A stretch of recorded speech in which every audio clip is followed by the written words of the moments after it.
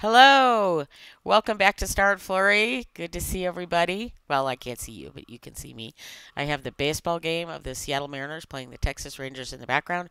So if you see flashes of light, that's where that's coming from.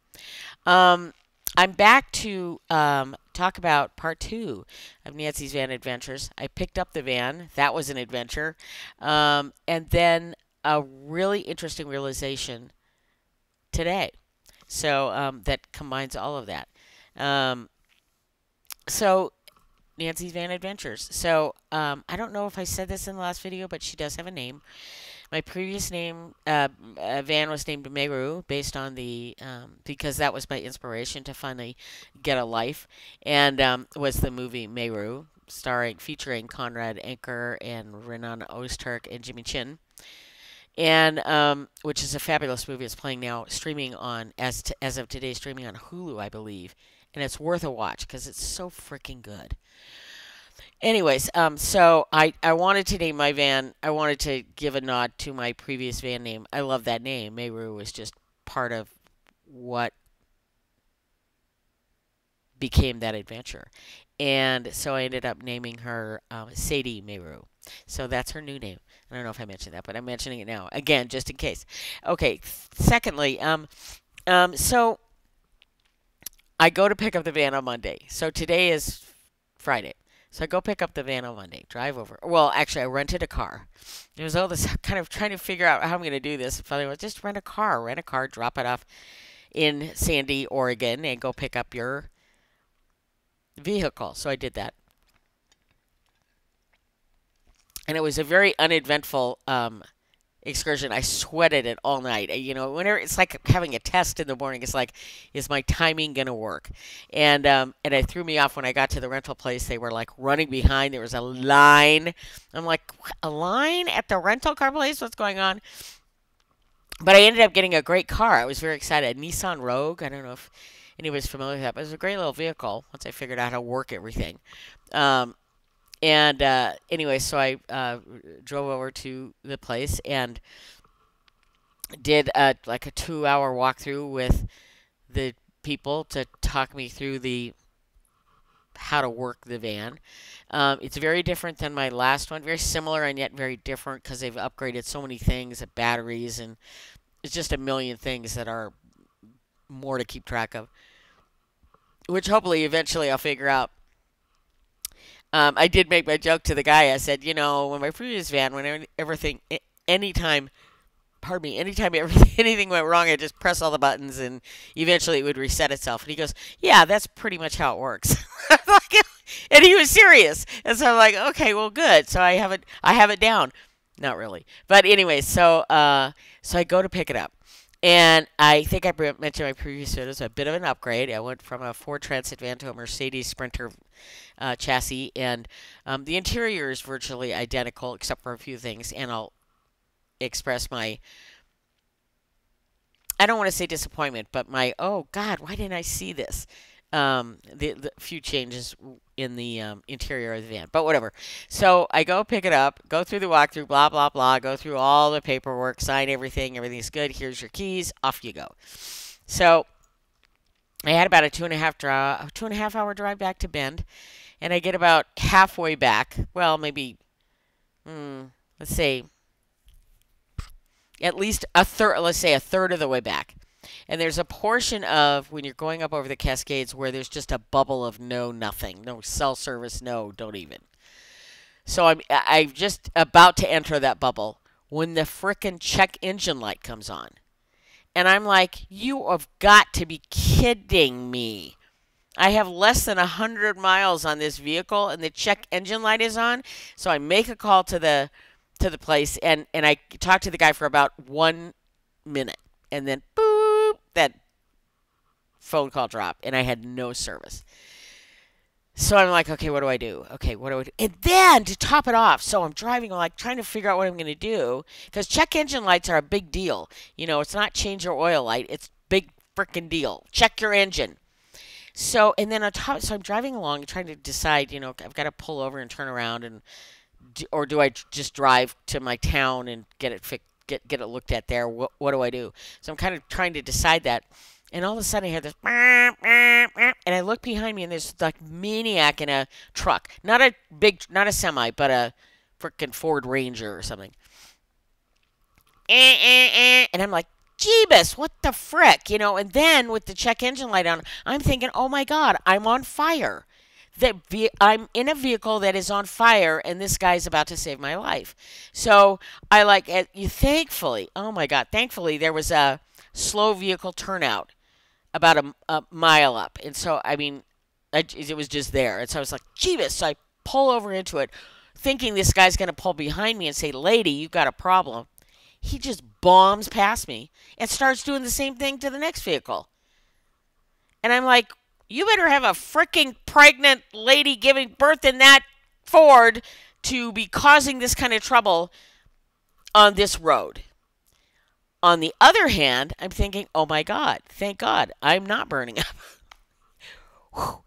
I mean, I did get out to check, and I was not. And so I was like, okay, good. And I was able to check like engine temps and oil temps and all that. Everything was normal.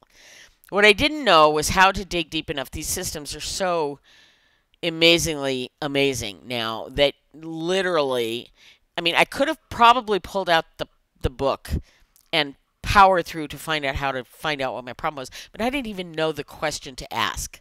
That's how more detailed this vehicle is in terms of information it wants to give you. I had no idea where to look.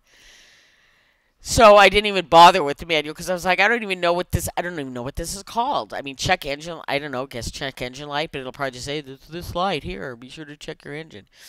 so, so, anyways, so I so after that debacle of the guy honking, so I finally turned around, drove the 40 minutes about i think it was 40 40 50 minutes back to the dealership and i was once i got cell service i did call my sales rep who's been really cool name is mickey give him a shout out johnson rv which is a has been a really great experience in in every way shape or form compared to my previous experience with a similar faction of that same company um, I won't name them, but it was an arduous task. Anyways, um, so I called Mickey, and he was like, "Okay, so." I explained to him what was going on, and he was like, "Oh my God!" First thing he did, "I'm so sorry this is happening." Um, blah blah blah.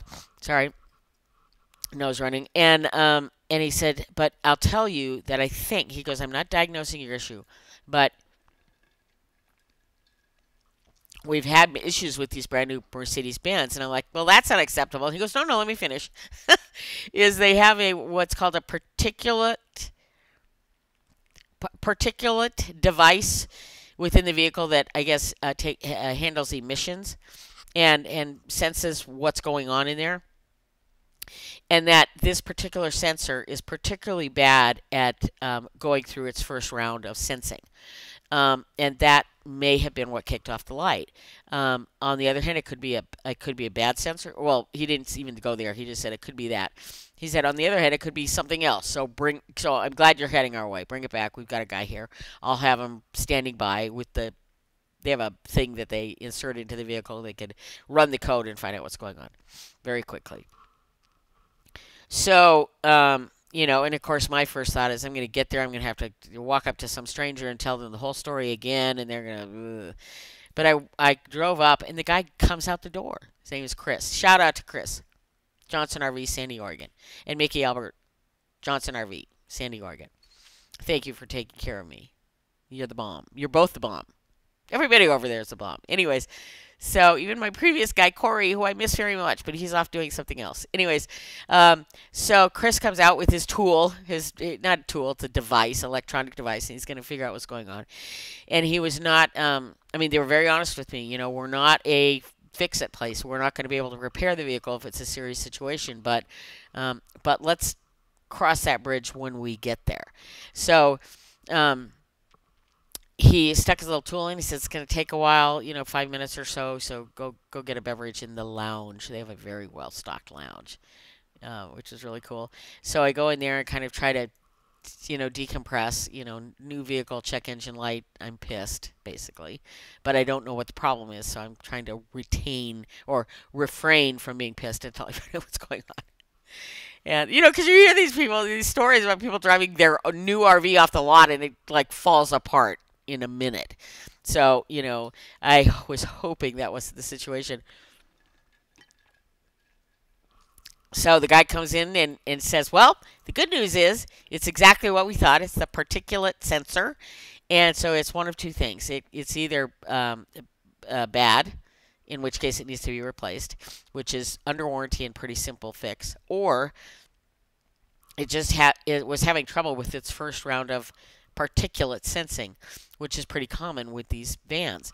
So my advice to you, and, and, and my so my advice to you is to go back to where you came from.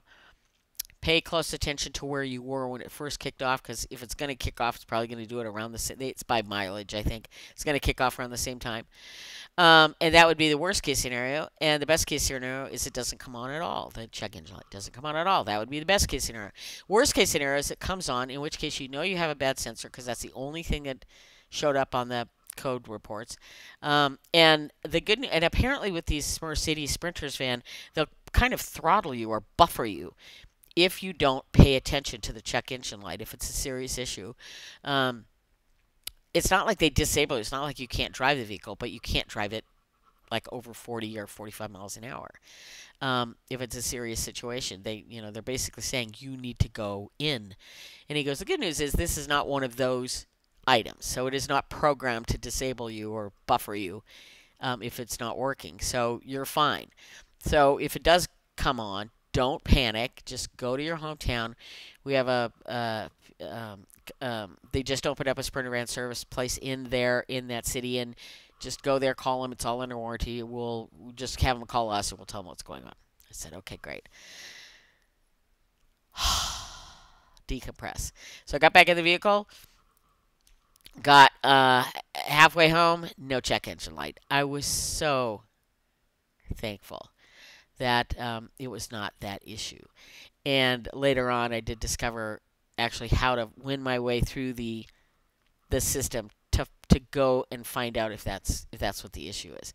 So, needless to say, I was very happy that my new vehicle was not having a problem with its engine. So that was a good thing. So um, I get home and it's absolutely smoky as oh, it was just apocalyptic is the only way I can describe it here. We have fires about 17, 18 miles south of us, and the winds were blowing directly south, and so it was just. Bleh. And I, I mean, literally, there was ash everywhere. I, I remember looking out the window because I got home right around dusk, and my vehicle lights had come on, and I and, and there was a brief, you know, there's br- a brief moment of where I'm like, what, what month are we in? What you know, what season is this? Because it looked like it was snowing. And I was like, I just was like, wait, you know, that, that moment where you're like, wait, uh, what planet am I on? And then I went, oh, wait a minute. It's, oh my God, it's ash that's falling out of the sky. And I was like, I've never, we have fires all the time, smoke all the time, but I've never been close enough to one to have ash falling out. Uh, the last time I had ash falling in my car, I was in Portland and Mount St. Helens had blown up. So it was a little disturbing to see that. But they really uh, had a handle on them, and um, and so I wasn't worried about my particular home location. But it's on your mind. I have a go bag. I you know I've got all that stuff ready if I need it. Knock wood, lucky wood. Then I never will. But it was very disconcerting to see that. But anyways, um, the good news was the next day we had great rain, and I think it really put a damper on a lot of those fires. And then the next day it was as clear as a bell because the because the rain had come in from the west, so it was pushing. So somebody else was getting the smoke, just not us, for a day at least. And we'd spent several days kind of under the shroud of smoke, and it just felt like somebody threw a blanket over your house. It was just horrible. So it was so nice to see the sun and the blue sky and clouds and the whole nine yards. So that was that was a very nice change. So anyway, so that's my story about my band. It's like the check engine light, ah, and then it just everything's fine. So that's good. So we got home so, um, so the other interesting story related to this, in my opinion, might not be yours. So, you know, feel free to sign off if it's not. But um, was the the I was going to tell the origin story of why I originally bought Meru because I think I've I think I've recorded this, but I don't think I've ever posted it. So I was I'm 68, 67, 68 years old at the time. Probably 67. Had just turned or something. And w- retired and my dad had passed away and I just moved to a new city and I was kind of trying to, you know, figure out what the hell I was going to do with my life. And I mean, it's really nice not having to go to work, but what was going to be my future interests and, and what was I going to tap into because I'd never had time to really think about that. And so I came upon a movie, I think it had just come out, called Meru. Simple as that. Meru. M E R U. And it was about a group of three alpinists, mountain climbers, who had their sights, or one of them had their sights set and put a team together to climb the shark's fin route of Meru. And there's all sorts of backstory, and it's in the movie. And I encourage anybody. I, I just, it doesn't even matter if you're not interested in this kind of film. It is so inspirational, and it's such a moving story for each and every one of these individuals. It's a documentary. It's all real. The actors are not actors, they're the people in the movie, the people that climbed. They did all of that. Um, and Conrad Anker, Renan Ozturk, and Jimmy Chin. Shout out to all three of them um, for changing my life. So I watched this movie and I was absolutely gobsmacked. It was so amazing and just inspirational and beautiful and moving in so many different ways. I just can't even describe the film, and it's not horribly long, so it's worth a watch. Um, and it's suitable for kids, I think. Really, I think it would be interesting to them as well. So there's, you know, okay, I'll stop. Anyways, so uh, I watched that movie, and I was I remember getting done with it like maybe the third time that I had. As I'm a firm believer, you watch a movie once, and you're always waiting for what's going to happen next, and then you go back and watch it the second time and you know the story, so now you can kind of focus on the characters and the actual story because you already know what's happening. So you begin to focus on how that's going on. And then the third time around, you get to focus on the score, the music, um, how it moved you, how how they utilized it within the film, and and then it goes on. Uh, all you just start fourth, fifth, sixth, seventh time you watch it, all these other avenues open up for brilliance that you get to witness, and so. Um, so I'm a proud member of the Bend Film Festival because I love film, and I'm not um, always accurate about it. I'm not always um, in depth, like I just spoke about in movies that I see, but in the ones that really move me, those are the ones that I see. Um, I mean, there's several on my list that I've seen 20 times, 20, 30 times, because there's always something else going on that I didn't see you know the 19th time around. I see it on the 20th so um, anyways so i so i'm on my third probably my third round of meru and get done with it. And i'm like i, I remember it ended and i'm like jeebus i need to get a life. I need to do something exceptional not, not not something exceptional for the world necessarily but something exceptional for me and that's somewhere along the way that began to pronounce itself more loudly in terms of doing doing this van these van adventures. Um, and so uh, and so when I bought my van, I knew long before that I was going to name her Meru. There was just no question in my mind that that nod had to be there because that th- these three men were so inspiring um, to me to finally see an adventure that I could do that wasn't inhibited by my work or time.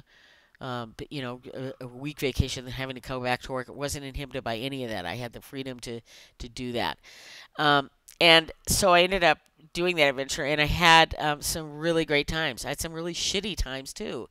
Um, I learned a lot.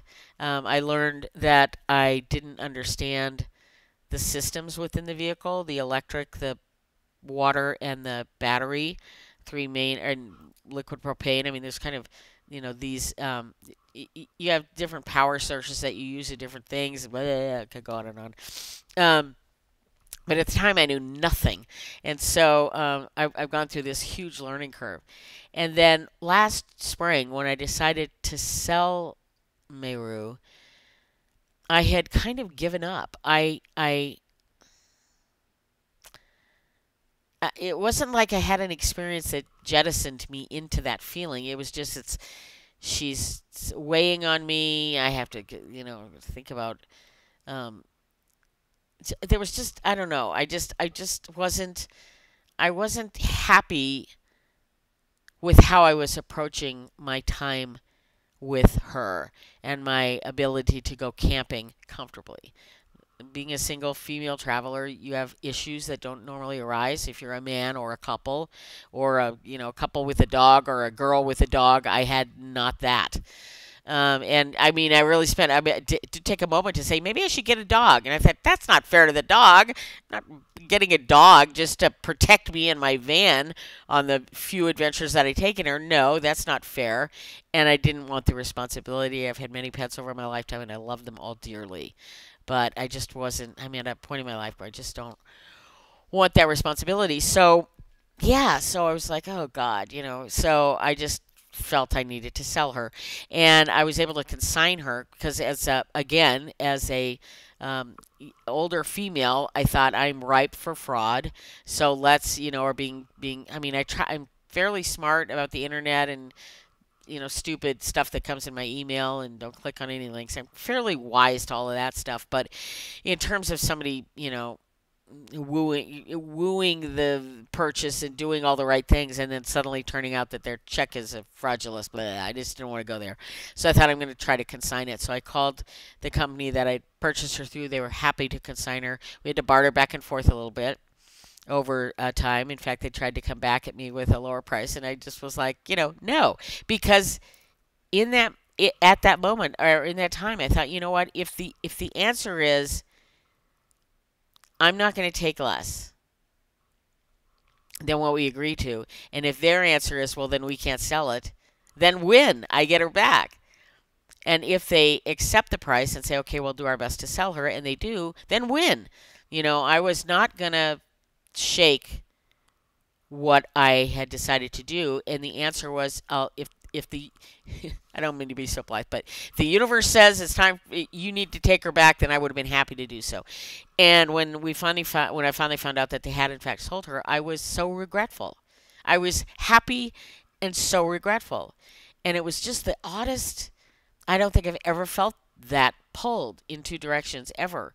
And uh, you know, with decision making, yes, but in this case, decision had been made, and I was so not happy I mean, I was happy that I kind of had this thing off my plate and then not happy because I wanted that on my plate. I didn't feel like I'd given it its due. I gave it two and a half years. I mean, it wasn't like nothing. But so I sat with that feeling for a long time.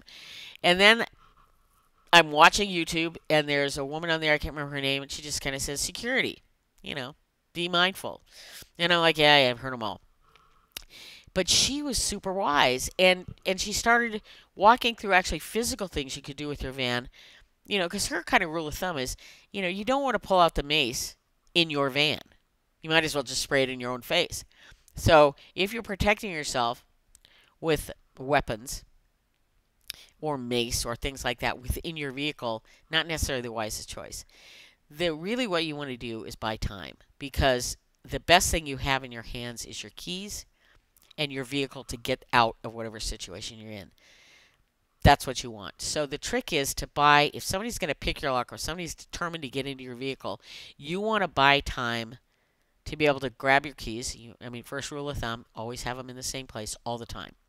You don't have to be feeling pockets and where's my purse and all that. The keys are always always handy. And you want five seconds, which is better than no seconds, to grab, leap, start, go. So, um, and I thought, why didn't I, you know, I mean, I, I guess I kind of understood that on a vague level, but, but, but I didn't secure my vehicle in any way to give myself that extra filter of confidence. So I watched her thing and she talked about certain locks you want to add. You can add that, you know, you never want to impede your ability to get out of the vehicle, but these locks were not that. And I mean, It, it was just, it was an amazing video, and it got me thinking completely differently about how I could have done this. And I was in a way kicking myself that I hadn't, why hadn't I asked these questions? Why hadn't I thought about this? Well, I just, I didn't know enough to ask. Sometimes you just don't know enough to ask.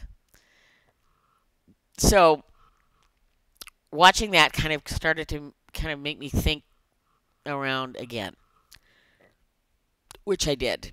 And I decided to give myself a second chance, as I mentioned in my first video, a second chance to do it better and do it where I could alleviate the issues that I had. Number one, security. Um, that was number one. Oh, I hate that bubble. Number one, solving that issue, and or at least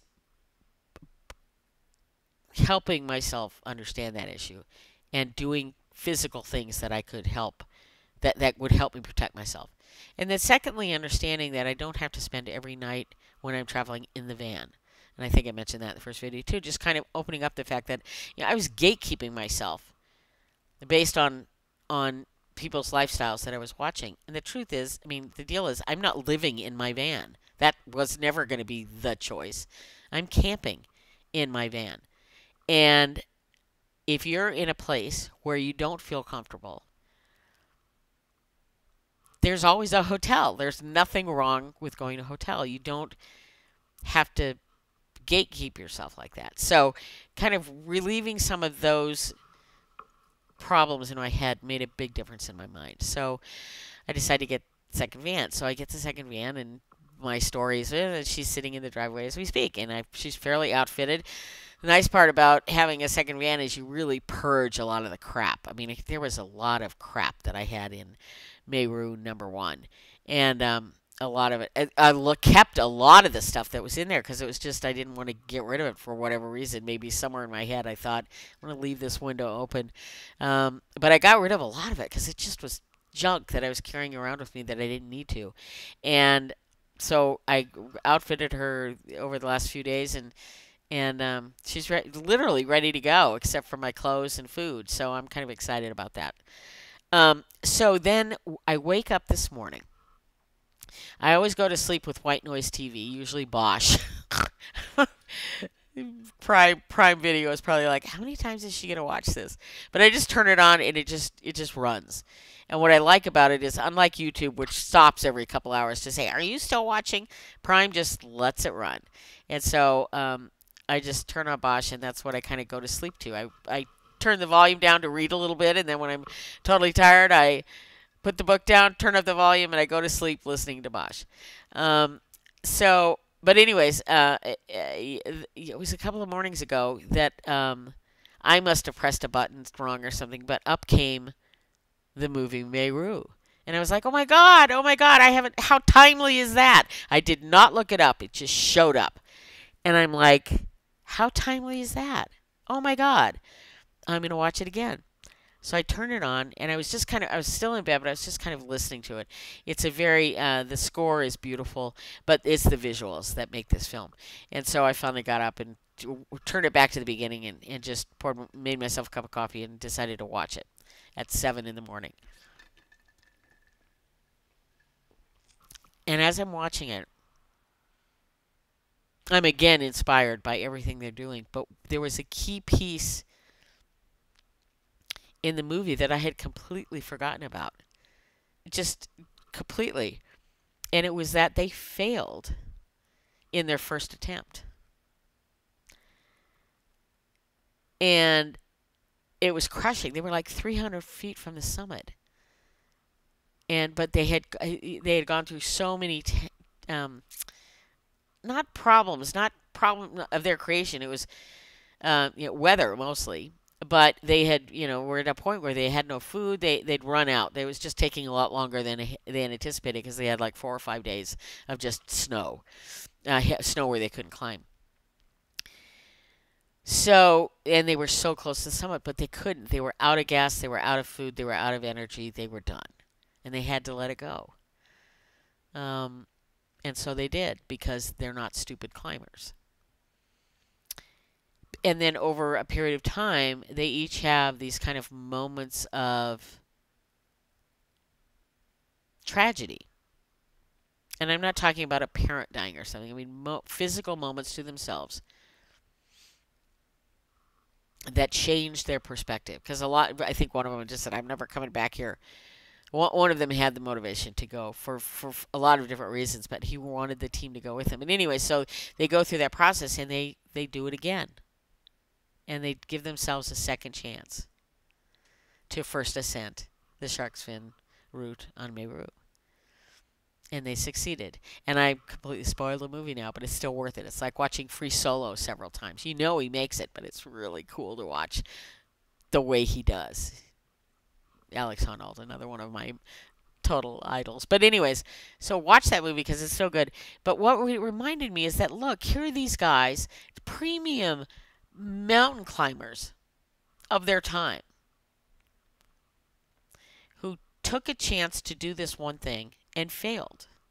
And they came back, they reassessed, came back, and did it again. And I was like, thank you, universe, for bringing this movie back into my life and reminding me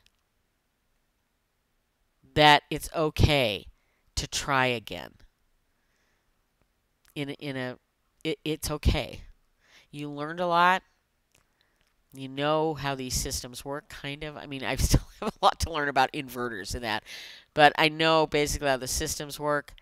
I need to learn the particulars of this particular van. I had the Ford. Ford is Ford just a lot simpler to work. Um, Mercedes has got more things going on, so it's a little um, intimidating in that regard. But I'm not going to let it intimidate me. I'm just going to give myself time to figure it out but I was so thankful that I saw that movie again and remembered the motivation and then was reminded that failing the first time is sometimes the way that you move forward and and and you know learn and bring in the knowledge that you learned bring it forward take that take that and use it and do it again give yourself that second chance. Um, because why not? If you can, why not? Just because you failed doesn't mean you're going to fail for life. It just means you failed this time. So, so that's my story. So, um, thank you. Thank you for listening.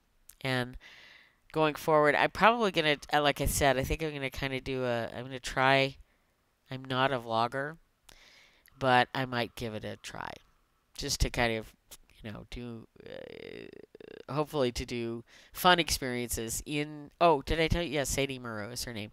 To give um, our adventures um, a video memory for me mostly. But if they're good and they're fun, I'll, I'll go ahead and post them. So, anyways, thanks so much for stopping by. Thanks for listening to my story. I always appreciate your. Um, your attendance. I really do. Thank you so much. We'll talk to you later. Star and Flurry out.